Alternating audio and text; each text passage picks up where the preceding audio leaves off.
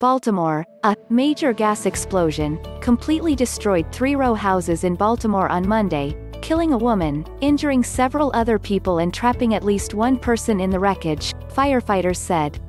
At least three dozen firefighters converged on the disaster scene, where the natural gas explosion reduced to the homes to piles of rubble and pieces of debris. A fourth house in the row was partly destroyed, and the neighborhood was strewn with glass from shattered windows. Two of the home's occupants were taken to hospitals in serious condition, while an adult woman was pronounced dead at the scene, the fire department tweeted. The firefighters union tweeted that special rescue operation units were searching for other people.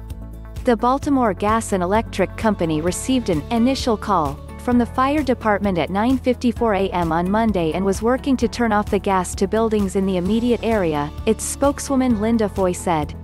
We are on the scene and working closely with the fire department to make the situation safe, she said, without answering any questions from reporters. Once the gas is off, we can begin to safely assess the situation, including inspections of BGE equipment. Moses Glover was inside his nearby home when he heard a boom and looked outside his window. Suddenly, a second blast knocked him off his feet, he told the Baltimore Sun, it knocked me across the bed, said Glover, 77.